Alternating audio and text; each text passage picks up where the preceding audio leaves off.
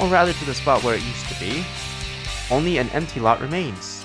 I know I went to school here, and I walk this way every day. How can our memories of attending school here be false?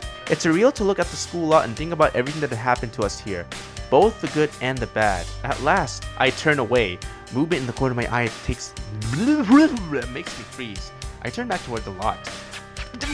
What the? もしもし How many? Welcome.